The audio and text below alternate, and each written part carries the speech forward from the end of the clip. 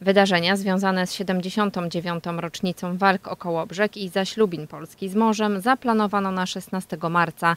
Inscenizacja historyczna Bój o Kołobrzeg wraca do naszego miasta po czterech latach przerwy. Przerwa ta oczywiście była spowodowana nie brakiem woli organizowania tego przedsięwzięcia, ale była spowodowana faktem, że czasie pandemii e, nie mogliśmy mm, takich, em, takich y, wydarzeń e, przygotowywać.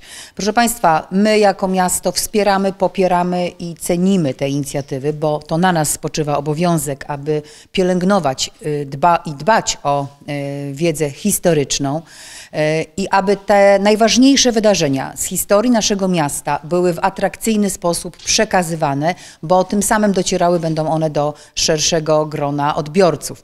A Bój o Kołobrzeg niewątpliwie przez wszystkie te edycje, kiedy był przygotowywany i realizowany na terenie naszego miasta, zawsze skupiał uwagę tych, którzy interesują się historią, ale również tych, którzy chcą poznać historię naszego miasta, bo akurat w tym czasie przebywają w Kołobrzegu. Jak zapewnia Muzeum Oręża Polskiego, widowisko zostanie wzbogacone o profesjonalne efekty pirotechniczne, które zapewnią jeszcze większy realizm prezentowanych scen. W inscenizacji mają wziąć udział doświadczeni rekonstruktorzy historyczni oraz autentyczne pojazdy wojskowe. Będzie sporo dynamiki. Proszę Państwa, będą huki, będą strzały, będzie ogień, będą jeździły czołgi, począwszy od bardzo popularnego T-34, najczęściej nazywanego Rudy, Państwo pewnie kojarzą, poprzez coś, co autentycznie brało udział, zresztą tak jak T-34 w walkach o Kołobrzeg, niszczyciel czołgu Hetzer. Jak Państwo zobaczą to zdjęcie na tej tablicy, to pierwsze po lewej stronie to jest właśnie taki czołg i taki czołg przywieziemy specjalnie na te potrzeby z Poznania. Również będzie transporter opancerzony SDKF, to jest to, co stoi u nas pod, e, pod tym namiotem.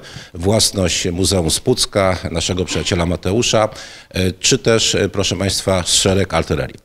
To wszystko będzie, w tym wszystkim będzie brało udział blisko 200 rekonstruktorów, 15 grup rekonstrukcji. Rozpoczniemy punktualnie o godzinie 12. Około 30-40 minut będzie trwało to widowisko. Zakończy się tradycyjnie e, ślubowaniem tutaj polskich żołnierzy w falach w Morzu Bałtyckim. Celem tego wydarzenia jest nie tylko upamiętnienie ważnych momentów naszej historii, ale również edukacja i przybliżenie młodszym pokoleniom znaczenia i kontekstu tych kluczowych dla Polski wydarzeń.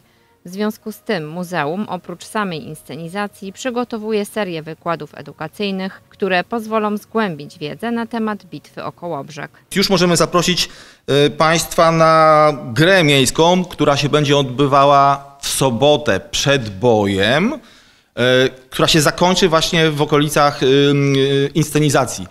Następne bardzo ciekawe wydarzenie, które będzie, to będzie sztafeta pamięci. Ta sztafeta odbędzie się 18 marca, czyli w poniedziałek w godzinach popołudniowo-wieczornych. Będzie to mm, przejście przez miasto i przez miejsce największych walk mieszkańców, turystów oraz rekonstruktorów z pochodniami, a wszystko to zakończy się na cmentarzu, gdzie zostanie oddana salwa armatnia honorowa. Więc serdecznie wszystkich zapraszamy na te wydarzenia. Inscenizacja Bój o Kołobrzeg odbędzie się w sobotę 16 marca o godzinie 12 na plaży centralnej przy Molo. Wydarzenie zostało wsparte przez miasto w kwocie ponad 60 tysięcy złotych, a także przez Ministerstwo Obrony Narodowej w kwocie 50 tysięcy złotych.